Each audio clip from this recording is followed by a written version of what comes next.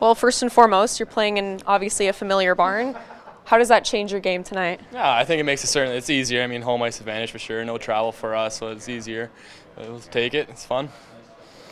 Playing with you know you guys all play. You guys all know your game very well. Playing with your familiar teammates, that's got to help a bit too, right?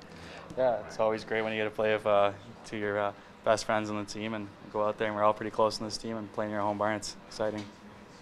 Now, obviously, your, your coaches know how you guys play better than anyone. What do you guys do tonight to elevate your game and impress them even more? I mean, uh, like I said earlier, you can't really always expect to be a top six scoring forward to make the team. So we kind of have to adapt into different roles and prove to Mark and Dale that we can play wherever we, they can they want to put us. And you've seen Team Russia play. Uh, well, they've got three games. This is uh, this will be their fourth game. This is your second game. What does that do to change the way you approach them? I think it makes it easier getting that game Thursday. I mean, we had a lot of returning guys from Thursday night. Certainly makes it easier, more familiarity. I mean, second practice under our belt makes it a lot easier for sure. Perfect. Thanks, guys.